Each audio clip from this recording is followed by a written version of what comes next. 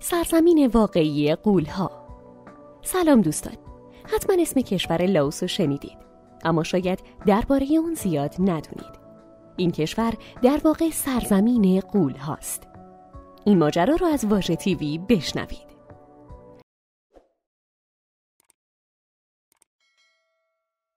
لاوس یکی از کشورهای فراموش شده دنیاست که در جنوب شرقی آسیا قرار داره و افراد کمی راجع به اون می‌دونن.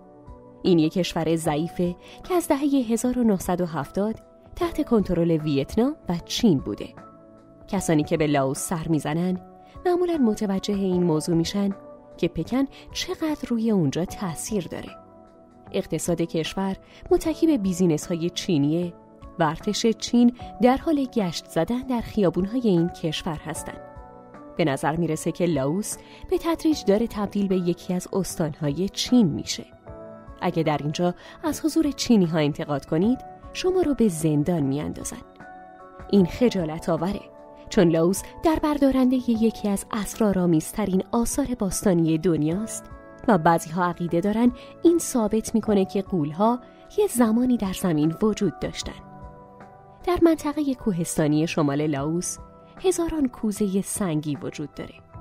بعضی از کوزه ها کوچیک و بعضی هاشون هم قول پیکرن. بعضی ها جدا هستن و بعضی هاشون کنار همن. به نظر می‌رسه که اونها رو به صورت اتفاقی در منطقه پخش کردن. مشخص نیست چه کسی این کوزه ها رو ساخته و هدفش چی بوده. شاید هیچ وقت جواب اینو نفهمیم. بمب های منفجر نشده و مینها باعث میشن بخش زیادی از منطقه غیر قابل دسترسی باشه. لاوس در طول جنگ ویتنام به شدت بمباران شد. آمریکایی ها این کارو کردن تا ویتنامی ها نتونن در داخل لاوس عملیاتی انجام بدن. دو میلیون تن مواد منفجره در این کشور تخلیه شد. این مقدار معادل اینه که هر هشت دقیقه یک بار و به مدت نه سال به اندازه یک هواپیما بمب خالی کنید.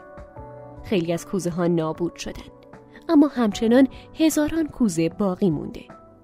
این منطقه در دهه 1930 مورد مطالعه قرار گرفت. زمانی که لاوس بخشی از امپراتوری فرانسه بود.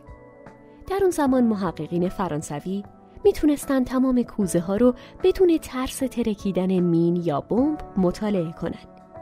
اونا اعتقاد داشتن این منطقه محل دفن مردگانه و جسدها رو در قارهای اطراف اینجا میسوزوندن و خاکسترهاشون رو داخل این کوزه ها میریختن. اما بومی ها تاریخچه این کوزه ها رو با افسانه های مختلف توضیح میدن. بعضی ها اعتقاد دارن یه شاه باستانی دیوانه مردم رو مجبور کرد این کوزه ها رو به عنوان زندان بسازن و هر کس که با شاه مخالفت می‌کرد رو داخل این کوزه ها مینداختن تا از گرسنگی بمیره.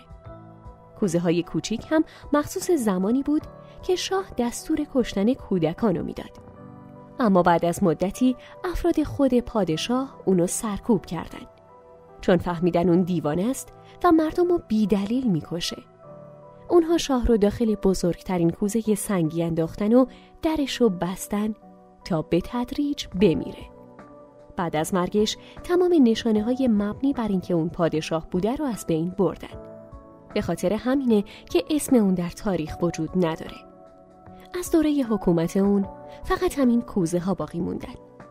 در داخل بعضی از کوزه ها بقایای اجساد انسان پیدا شده و همین باعث شده برخی از افراد باور کنن داستان این پادشاه واقعیه. داستان دیگه هم میگه اجساد افرادی که دیگران اونها رو نفرین شده تصور می‌کردن و داخل این کوزه ها قرار می‌دادن. مردم معمولا این افراد رو قربانی می‌کردن و بعد جسدشون رو داخل این کوزه ها قرار می‌دادن.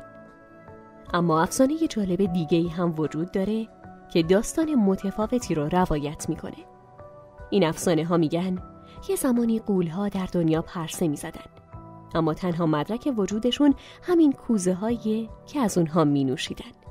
بعد از مدتی انسان های زیادی دور هم جمع شدن و شروع به کشتن این قول ها کردن.